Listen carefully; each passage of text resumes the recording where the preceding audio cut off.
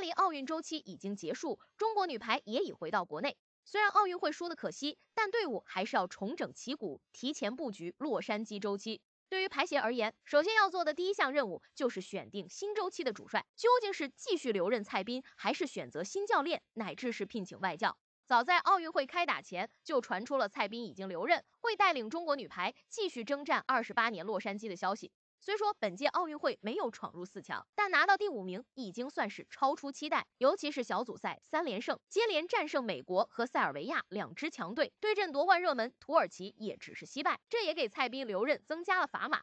不过新周期中国女排的难度还是相当大，很多球员都会选择退役，开启新人生，这就需要队伍重新培养人才，重新确定体系。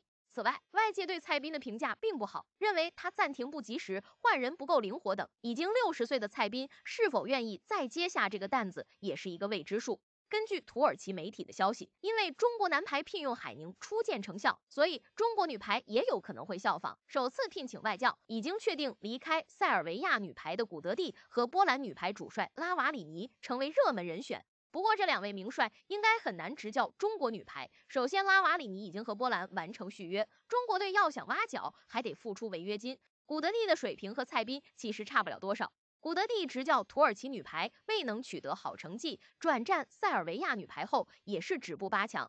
本届奥运会，蔡斌的用人和临场指挥还是要优于古德蒂。这两名教练属于两个极端，蔡斌是不到万不得已不换人，古德蒂是随心所欲的换人。若是用古德蒂的话，蔡斌的性价比更高。如果找不到合适的外教，如果还是要启用国内教练的话，蔡斌仍是第一选择。其实中国女排要想请外教，日本男排的布莱恩是个不错的选择。布莱恩已经卸任日本男排主帅，下半年就要前往韩国俱乐部执教。久征亚洲赛场的他，对于亚洲排球还是有着自己独特的理解，不妨可以考虑一下。奥运会发挥出色的李盈莹又被土耳其媒体传出留洋，这次不是前往费内巴切，而是加盟袁心玥所在的瓦基弗银行。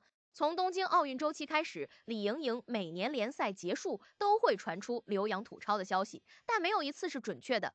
虽然大家很希望李盈莹能够出国打球，但实际情况却是很难，尤其是二四至二五赛季更难。一是天津女排已经没有了袁心玥，要是李盈莹再走，拿什么和引进了双外援的上海、辽宁去争冠呢？二是马上就要到全运会预赛，另外李盈莹奥运会结束后表示，可能没有下一届奥运会了，说明她已经有了退役的打算。